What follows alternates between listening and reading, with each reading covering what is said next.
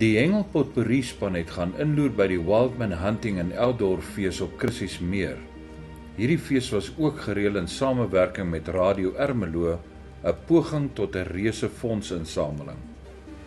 Krissies Meer se ongelooflike skoonheid en pragtige natuurtonele, 'n ware juweel om so fees in die toekoms weer aan te bied, waar die gesin, familie of beste vriende bymekaar kan kom om 'n fees uit die boonste rakke te kan kom geniet. Dit was opvallend met hoeveel belangstelling die stalletjie eienaars, sangers en ander vermaaklikheidspersone die geleentheid aangegryp het om deel van die reuse fees sukses te wees. Verskillende vermaaklikheidsprogramme begin toe in alle erns In samewerking met die Stywelyne span het Donald McDonald van die McDip reeks hengelklinieke om die uur aangebied waar jonk en oud, lieflike dames en kinders hul slag met die visstok kom wys. Ek self het goue lyntjie nat gemaak om te kyk of die McDip reeks werk en hy werk. Daarna is dit na die Kleiduif skiet om te gaan kyk hoe Piet Pompies, 'n baie bekende sanger, sy slag wys met die dubbelloop haalgeweer. Ons probeer weer. Take 2. As ons reg. Pool. Ek weet. Pieter, wat gaan hier aan, Phil? Sy het gesê sy's wild, toe skiet ek almal. Ja, Piet Pompies. Dankie vir jou grap en vermaak. Nou is dit die beurt van die bergfietser. Mense, julle wil nie hoor watter afstande hierdie mense ry nie. Ek dink die verste was 75 km.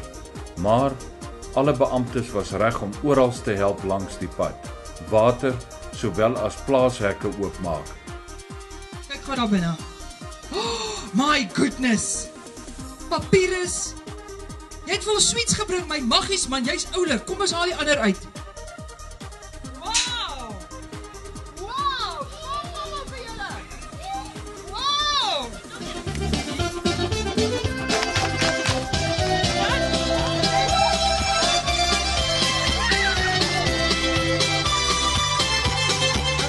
Gas. Baie lekker mens by hierdie fees.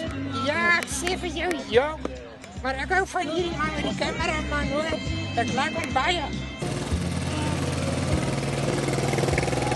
Laaste maar nie vergeete was die hengelkompetisie wat ten einde geloop het. Kontantpryse was geborg deur All Out Angling in Centurion. En ons sê dankie vir Benjamin.